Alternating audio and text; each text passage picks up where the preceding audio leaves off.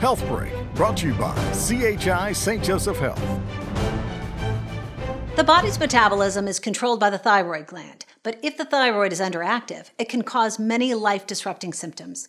Dr. Alexander Hernandez explains. All of a sudden, you just start gaining weight, though you feel like you've eaten the same as you've always have before. You may start feeling a little bit more constipation as well too, and then more thickening of your skin. If you notice these symptoms, talk to your doctor. If your thyroid is underactive, the solution may be as simple as taking medication. There are pills that we can give to patients that try to supply that hormone level for the patient. It does take some time for that hormone level to stabilize in the human body. So usually when people start taking the medicines, it may take anywhere from four to six weeks before the body starts realizing we're at a good level. They feel like their energy level is back. They're finally able to be more active just because they felt like lower energy and fatigued most of the times. But now that they're on the medications, it feels like, all right, now I can actually do stuff. For more information, go to chistjosephhealth.org. I'm Kristen Presall.